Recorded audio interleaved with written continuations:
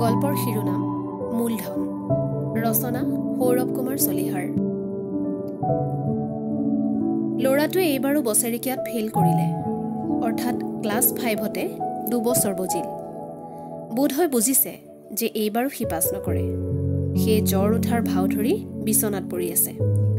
অগত্যা ময়েই স্কুললৈ আহি ৰিজাল্টৰ ৰিপৰ্টখন সংগ্ৰহ কৰিছোঁ। যি ভয় কৰিছিলোঁ সেয়ে হ'ল। ইংৰাজীত ফেইল অসমীয়াত ফেইল অংকত ফেইল বাকীবোৰত কোনোমতে ত্ৰিছৰ পৰা পঁয়ত্ৰিছৰ ভিতৰত। কাগজখন হাতত লৈ বিষণ্ণ মনে স্কুলৰ পৰা ওলাই আহিছোঁ। কি কৰিব সি এতিয়া? আৰু এবাৰ ফেইল কৰিলেতো স্কুল এৰিব লাগিব। পঢ়া শুনাত মতি নাই। যদিও মাকৰ ভয়ত টেবুলত বহে। টিউচনো দিয়াইছোঁ তথাপি যোৱা বছৰ ফেইল কৰা দেখি এইবাৰ টিউচন বদলাই দিছোঁ। কিন্তু সি নিয়মিতভাৱে টিউচনলৈ যায় নে নাযায় বুজিব নোৱাৰোঁ। হয়তো বাহিৰত ক'ৰবাত ঘূৰি ফুৰে। তাৰ লগবোৰ কেনেকুৱা নাজানো। যি দুই এটা দেখিছোঁ সিহঁত তাৰ দৰেই। সাধাৰণ চাল চলন কথা বতৰা বিশেষ বেয়া বা ভাল একো চকুত নপৰে। প্ৰায়ে মাকক পইচা খোজে। ময়ো হাত খৰচ বুলি অলপ ওচৰপ দিওঁ। বোধহয় লগৰ লগত চাহৰ দোকানলৈ যায়। চিনেমা চায় আৰু কি কৰে নাজানো। বাহিৰা কিতাপ চিতাপ কোনোদিনে একো কিনা নেদেখোঁ। চিগাৰেট টিগাৰেট খায় নেকি মনে মনে? বা আজিকালি যে দোকান বজাৰ চানি ধৰিছে সেই গুটখা? গম নাপাওঁ। ৰিজাল্ট শুনি মাকে কান্দিব। প্ৰায়ে দুখ কৰে। একমাত্ৰ ল'ৰা তাৰ দেখোন একোতে আগ্ৰহ নাই। ডাঙৰ হৈ সি চলিব কেনেকৈ? খেলা ধূলা বা গান বাজনাতেই যদি ৰাপ থাকিলেহেঁতেন। নাই সেইবোৰো একো নাই। ধাৰণা হয় যেন তাক মাথো পইচা লাগে। মাকক খোজে মোকো। কেতিয়াবা ভয়ে ভয়ে খোজে। লটাৰীৰ টিকট কিনে ৰাতাৰাতি কোটিপতি হোৱাৰ সপোন দেখে বোধ হয়। অৱশ্যে আজিলৈকে কোনো খেলতে একো জিকা নাই। মাথো ঢালিছে প্ৰচুৰ। অন্য একোতে আগ্ৰহ দেখা নাযায়। বাতৰি কাকতখনো নপঢ়ে। অৱশ্যে টিভি চায় নিজৰ পৰা নাচায়। মাক টিভিটোৰ সন্মুখত বহিলে সিও গৈ কাষত বহে। বাতৰি নুশুনে সামাজিক ধাৰাবাহিকবোৰ আৰম্ভ হ'লে উঠি গুচি আহে। বহি থাকে মাথো তথাকথিত ধৰ্মীয় ধাৰাবাহিকবোৰত য'ত বিভিন্ন ৰং আৰু পোহৰৰ চাক চমকেৰে ঋষি মুনি আৱিৰ্ভূত হয় আৰু অদৃশ্য হয়। বক্তৃতা মাৰে ঝিলিক ঝালাক ভেলকিবাজিৰে তীব্ৰ শব্দ আৰু ৰশ্মিৰ খেলৰ মাজত মন্ত্ৰ আৰু শ্লোকৰ সুউচ্চ ধ্বনিৰ তালে তালে দেৱ দেৱীয়ে অলৌকিক ঐশ্বৰিক লীলা দেখুৱায়। মাকৰ লগতে সিও যেনেকৈ চকু ডাঙৰ কৰি মুখ মেলি দি এই যাদুকাণ্ডবোৰ চাই ধাৰণা হয় এইবোৰ সিও বিশ্বাস কৰে সঁচা বুলি ভাবে। আগেয়ে পুৰাণ বা ৰামায়ণ মহাভাৰতৰ এই আশ্চৰ্য ঘটনাবোৰ আছিল মানুহৰ মনত অস্পষ্ট। কল্পনা কৰিবলৈ কষ্টকৰ। কিন্তু আজি কম্পিউটাৰ প্ৰযুক্তিৰ চমকপ্ৰদ প্ৰয়োগেৰে এই সমস্ত অবাস্তৱ অসম্ভৱ দৃশ্য মানুহৰ চকুৰ সন্মুখতে প্ৰক্ষিপ্ত। প্ৰত্যয় নগৈ উপায় নাই। কষ্ট কৰি কল্পনা কৰিব নালাগে। দেখাই যায় যে ঋষিৰ খং উঠিলে কপালৰ সশব্দে তীব্ৰ ৰশ্মি নিৰ্গত হৈ বহু যোজন দূৰৰ অসুৰক দগ্ধ কৰি দিছে। যেন কপালৰ পৰা লেজাৰ ৰশ্মিহে বাহিৰ হৈছে। কোৱা হয় যে আজিৰ যুগ হ'ল বিজ্ঞানৰ যুগ। কিন্তু এনেকৈও ক'ব পাৰি নেকি? যে আজিৰ যুগ হ'ল বিজ্ঞান যুগে অন্ধবিশ্বাস কটকটীয়াকৈ প্ৰতিষ্ঠা কৰি দিয়াৰ যুগ উদ্ভৱ অবিশ্বাস্য ঘটনাৱলী বিশ্বাসযোগ্য কৰি দিয়াৰ যুগ? সিও নিজাববীয়াকৈ চুৰ চুৰীয়া পূজা আনে প্ৰাৰ্থনা কিবা অলপ কৰে। এদিন তাৰ মাকে লক্ষী পূজাৰ সন্ধিয়া গোসানীৰ আগত চাকি এগছ দিছে। সিও তাতে মূৰটো মাটিত লগাই সেৱা কৰিছে। এনেতে আহি ওলাল তাৰ মামাক। ক'লে অ গোসাঁইৰ প্ৰতি ভক্তি আছে দেখিছোঁ তোৰ। ভাল কথা। অন্তৰত ভক্তি থাকিব লাগে। তেতিয়া সকলো মনোবাঞ্ছা পূৰণ হয়। এক কাম কৰিবিচোন। তোৰ ভাল লগা মানে তোৰ ভক্তি উপজা কোনোবা গোঁসাই বা গোসানীৰ ছবি বা মূৰ্তি এটা পুৱা গধূলি দুবাৰ সেৱা কৰিবি। দেখিবি মনটোৱেই ভাল লাগি থাকিব। মাকে ক'লে হয় অ' বাবা। মামাৰে ভাল কথাই কৈছে। তইতো পঢ়া শুনাত ভাল কৰিব পৰা নাই। সৰস্বতী গোসানীকে প্ৰাৰ্থনা কৰিবিচোন। বিদ্যা দিব। কিজানি চেটাৰো বজাব পৰা কৰি দিব। সি ক'লে এই সৰস্বতী পূজাটো স্কুলত ডাঙৰকৈ কৰোঁৱেই। ঘৰতনো সদায় আৰু কিমান পূজা কৰি থাকিম? মামাকে ক'লে অন্য কোনোবা দেৱ দেৱী হ'লেও হ'ব। যিকোনো ইষ্ট দেৱতাইতো মংগলেই কৰিব। দুদিনমান পাছত সি মাকৰ পৰা পইচা নি এটা সৰু লক্ষী মূৰ্তি কিনি লৈ আহিল আৰু তাৰ পঢ়া টেবুলৰ দেৱালৰ পিনৰ চুকত বহালে। সি কি প্ৰাৰ্থনা কৰে নাজানো কিন্তু সেই মূৰ্তিটোৰ সন্মুখত পুৱা গধূলি ধূপ জ্বলাই দি মূৰ দোৱায়। মুখেৰে কিবা কিবি বিৰ বিৰ কৰে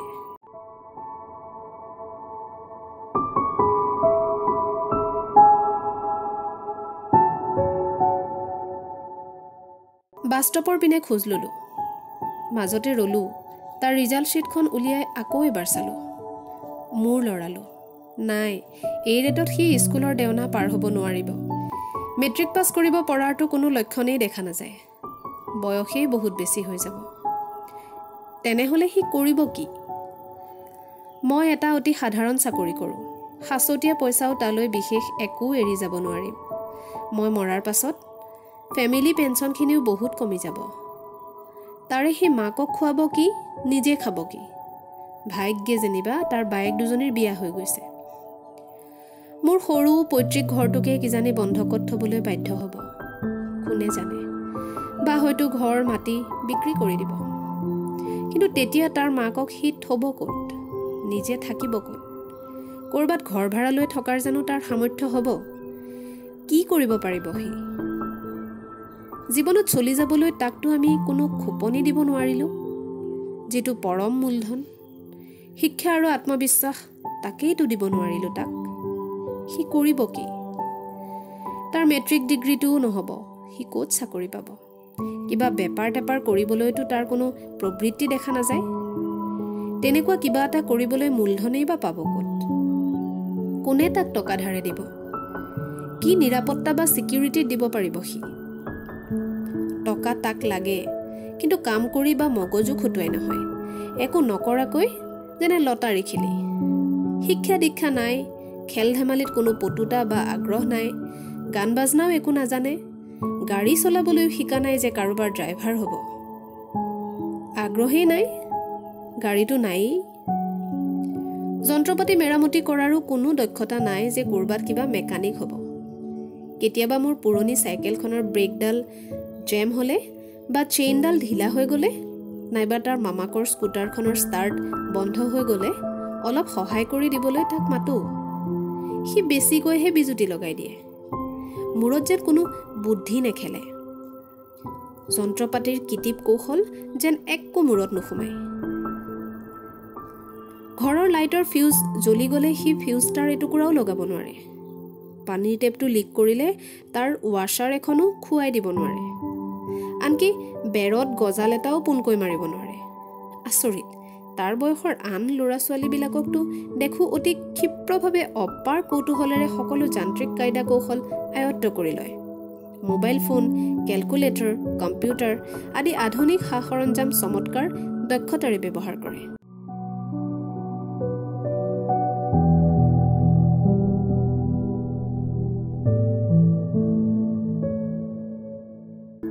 বৰষুণ নামিল হঠাৎ।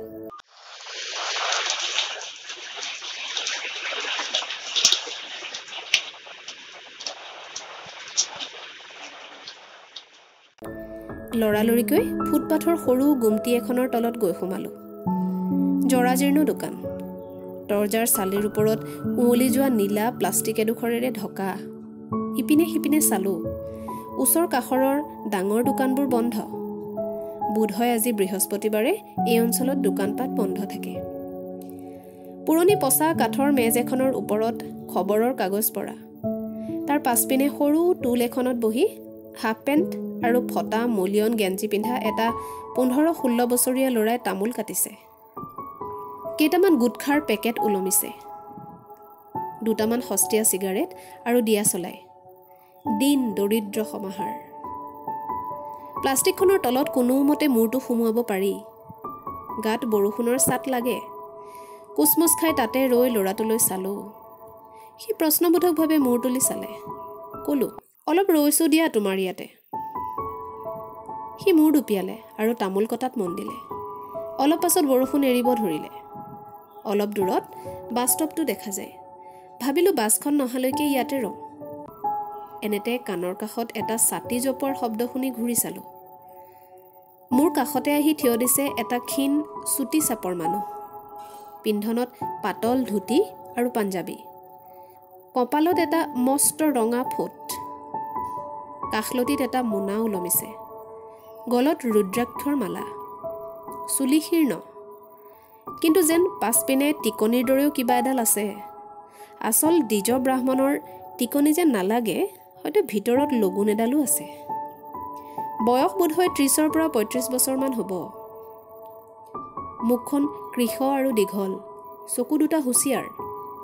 এহাতে এখন গিল্টি কৰা ৰূপৰ থালত কেইটামান ফুল জবা গেন্ধাই তুলসীৰ পাত ফুলৰ পাহি এটেমা সেন্দুৰ আৰু সৰু ৰূপৰ গিলাচত পানী অলপ চন্দন পিহা আৰু সৰু টিলিঙা এটা ধূপদানি।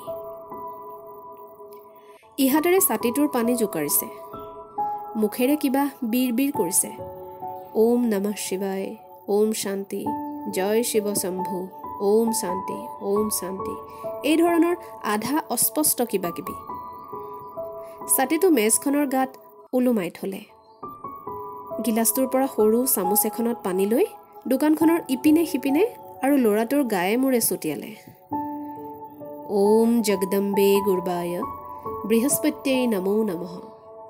তাৰ পাছত টিলিং টিলিংকৈ দুবাৰমান টিলিঙাটো বজালে আৰু হাতৰ কাঁহীখন মেজখনৰ ওপৰত থলে।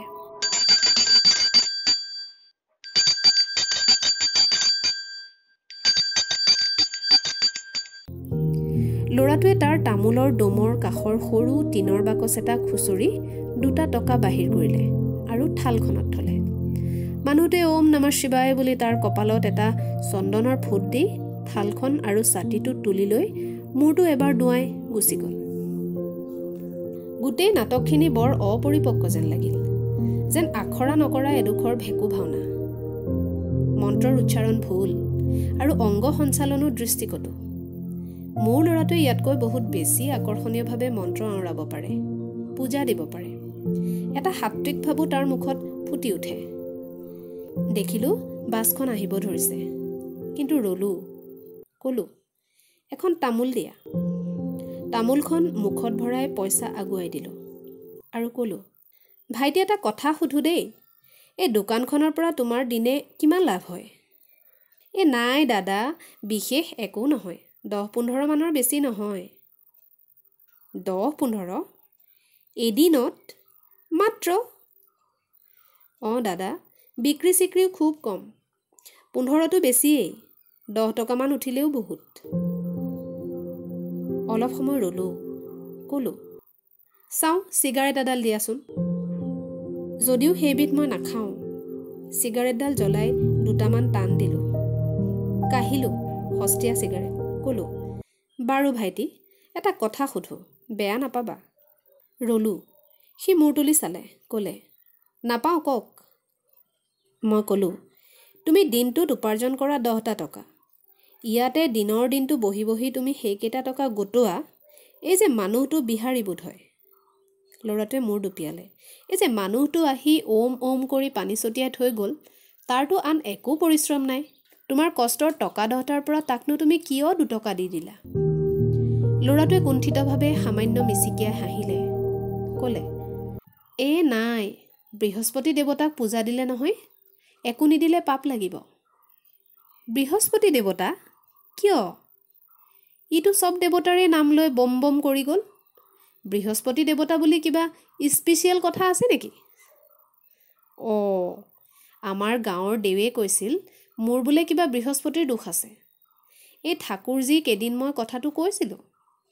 ঠাকুৰজীয়ে মোৰ কপালখন চাই ক'লে যে অকল বৃহস্পতিৰ নহয় মোৰ পিনে বোলে অলপ শনিৰো কুদৃষ্টি নে কিবা পৰিছে।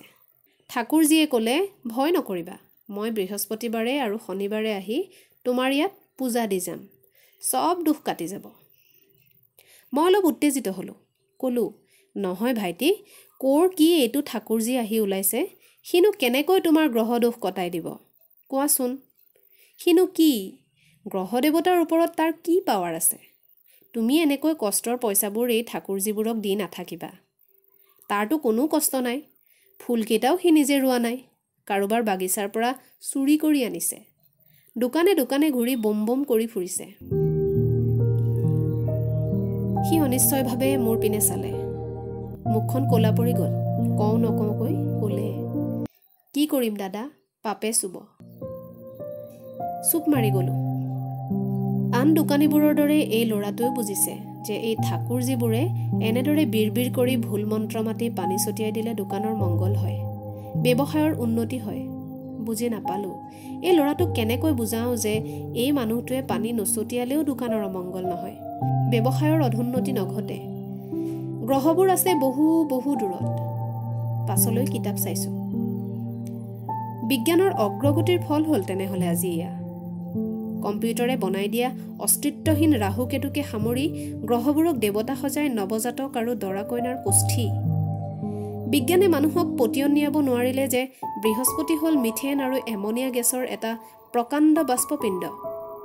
শনিগ্ৰহো হ'ল কিছুমান বৰফ গেছ আৰু ধূলিৰ বলয়েৰে আৱৰা তেনেকুৱা গেছৰ এটা গোলক মাত্ৰ। বৰং মানুহৰ বিশ্বাস বেছিহে গাঢ় হ'ল যে বৃহস্পতি এক দেৱতা। তেৱন্ন কোটি কিলোমিটাৰ দূৰৰ পৰা এই ভাইটিটোৰ দৰে মানুহৰ পিনে ক্ৰুব্ধ দৃষ্টিৰে চাই আছে। ভাইটিয়ে দেৱতাৰ কি জগৰ লগালে তাৰ কোনো ব্যাখ্যা নাই। শনি দেৱতাই এশ আঠাইছ কোটি কিলোমিটাৰ দূৰৰ পৰা এই নিমাখিত পাণ দোকানীটোৰ পিনে কোপদৃষ্টি নিক্ষেপ কৰি আছে। দেৱতাবোৰৰ যেন আৰু একো কাম নাই। অস্তিত্বহীন দেৱতাৰ ৰোষত পাপ লগাৰ ভিত্তিহীন ভয়ত মানুহ পেপুৱা লাগি আছে। অহেতুক পাপ বোধৰে ব্যাপ্ত হৈ গৈছে মানুহৰ মনোজগত। যিয়ে যি কৈছে ভয়ে ভয়ে তাকে মানি লৈছে। হঠাৎ যদি এদিন শুনা গ'ল যে সন্তোষী মা বুলিও এক দেৱী আছে যাৰ নাম অতদিনে কোনেও শুনা নাছিল। তাকেই মানুহে মানি লৈছে। কাৰণ অবিশ্বাস কৰিলেতো পাপ লাগিব দেৱীয়ে শাস্তি দিব। গতিকে সন্তোষী মাৰ নামতো বহি গৈছে মন্দিৰ পুৰোহিত লাখ লাখ ভক্ত। Cinema audio' video' TV computer graphics animation বিজ্ঞানৰ সকলো চমকপ্ৰদ উদ্ভাৱনাই দকৈ শিপাই দিছে মাথো অন্ধবিশ্বাস উদ্ভৱ আজব কাণ্ড কাৰখানাত অটল প্ৰত্যয়। গ্ৰহ নক্ষত্ৰৰ স্বৰূপ বুজিবলৈ মানুহক নালাগে প্লেনেটেৰিয়াম। ৰোগ ব্যাধি দূৰ কৰিবলৈ নালাগে হাস্পাতাল। লাগে শনি মন্দিৰ জাক যজ্ঞৰ ধোঁৱা আৰু আৰাও। স্কুল নালাগে হাস্পাতাল নালাগে ৰাস্তা নালাগে নলা নৰ্দমা নালাগে। লাগে মন্দিৰ মন্দিৰ আৰু মন্দিৰ।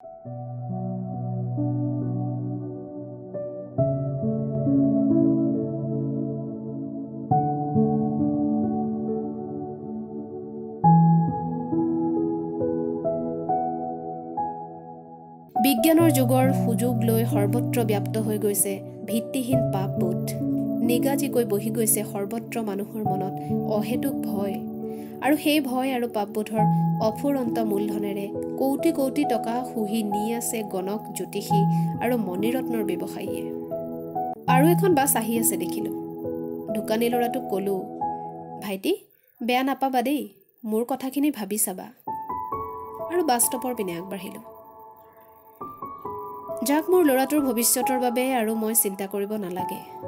আমি তাক জীৱনৰ বাটত খোজ পেলাবলৈ এটা বুনিয়াদ গঢ়ি দিব নোৱাৰিলোঁ। হয়তো উচিত শিক্ষা দীক্ষাও দিব নোৱাৰিলোঁ। ব্যৱসায় বাণিজ্য কিবা এটা কৰিবলৈ কোনো কেপিটেল বা মূলধন দি থৈ যাব নোৱাৰিলোঁ। কিন্তু সি বুজিব যে তাৰ পাৰিপাৰ্শ্বিকতে তাৰ মূলধন মজুত হৈ আছে। এই স্বয়ম্ভু ঠাকুৰ যিবোৰ সিও দেখি আছে সি সিহঁততকৈ বহু বেছি ভালদৰে মন্ত্ৰ আওৰাব পাৰে টিলিঙা বজাব পাৰে গংগাজল ছটিয়াব পাৰে একো পৰিশ্ৰম কৰিব নালাগে। সিও নিশ্চয় এইখিনি বুজি পাব যে তাৰ চৌদিশৰ হাজাৰ বিজাৰ মানুহৰ পৰাই সি পাই থাকিব তাক যিমান লাগে তিমান মূলধন অজস্ৰজনৰ অহেতুক ভয়।